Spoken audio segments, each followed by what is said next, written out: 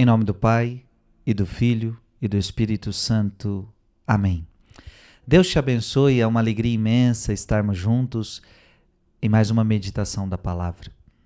Dia 25 de abril, quero meditar com você São Pedro, capítulo 5, versículo de 5 a 14.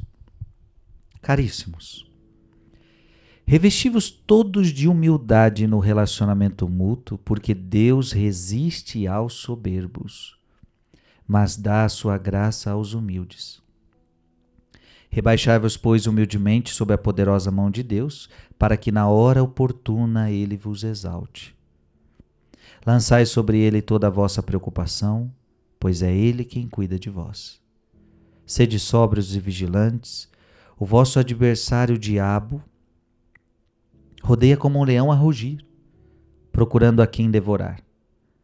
Resisti-lhe firmes na fé, certos de que iguais sofrimentos atingem também os vossos irmãos pelo mundo afora.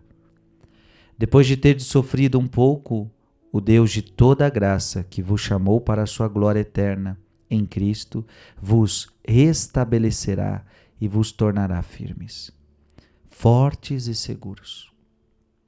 A ele pertence o poder pelos séculos dos séculos. Amém. Por meio de Silvano, que considero um irmão fiel junto de vós, envio-vos esta breve carta para vos exortar e para atestar que esta é a verdadeira graça de Deus na qual estáis firmes. A igreja que está em Babilônia, eleita como vós, vos saúda, como também Marcos, o meu filho. Saudai-vos uns aos outros com o um abraço do amor fraterno. A paz esteja com todos vós que estais em Cristo. Palavra do Senhor.